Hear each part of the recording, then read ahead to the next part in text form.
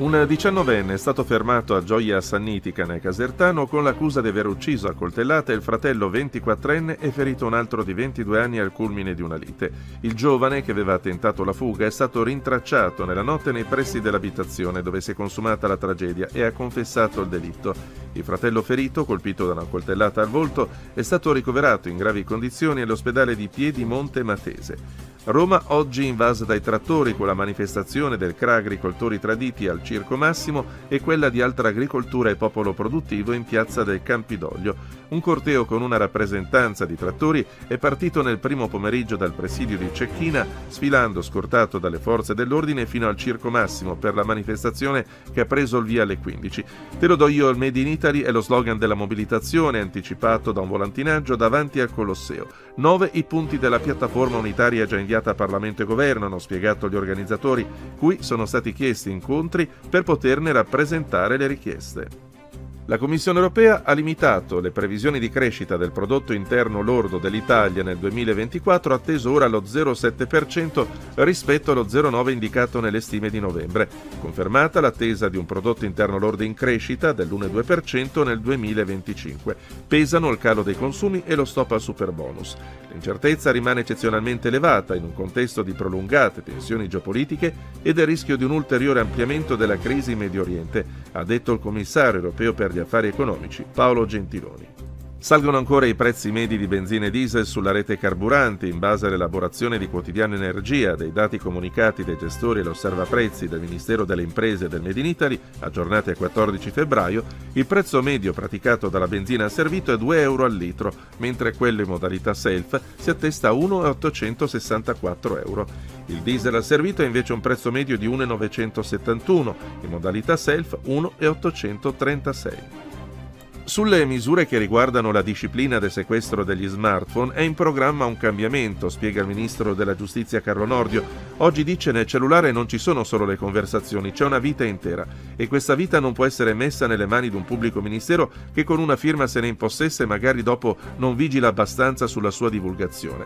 Dunque, sul sequestro di un telefonino o di un PC deciderà il GIP su richiesta del PM e non più solo il pubblico ministero. L'annuncio arriva direttamente dall'Associazione Famiglia Arcobaleno. Sulla carta d'identità dei minori, per indicare i genitori, vanno usate le parole genitore 1 e genitore 2. Questa è la decisione della Corte d'Appello di Roma che smentisce nei fatti un decreto del Ministero dell'Interno del 2019 guidato all'epoca da Matteo Salvini. Il Dicastero viene obbligato a applicare la dicitura genitori o altra dicitura che corrisponda al genere del genitore sulle carte d'identità elettroniche rilasciate a persone minorenni.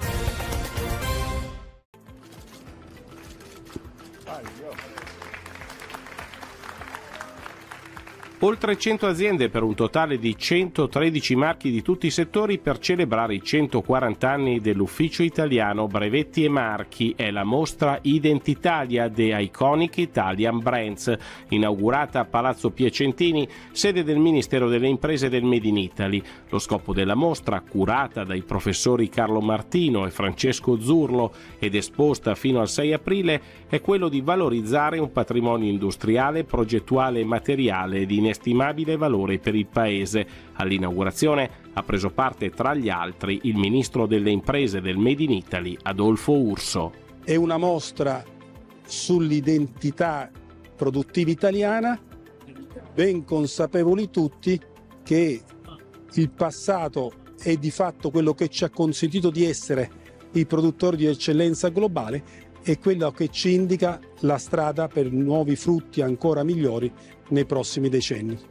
Tra le storie imprenditoriali di successo raccontate nella mostra anche Leonardo, che tra le principali aziende high-tech globali che opera nel settore dell'aerospazio, difesa e sicurezza, realizza soluzioni che contribuiscono allo sviluppo e alla protezione di persone e territori da oltre 70 anni Leonardo svolge infatti un ruolo chiave nell'ecosistema industriale nazionale e delle comunità in cui opera grazie a innovazioni fondamentali per la crescita economica e sociale, un cammino che oggi, grazie alla digitalizzazione, pone Leonardo in prima fila anche nelle capacità d'osservazione e monitoraggio globale, protezione di persone e infrastrutture, simulazione e addestramento.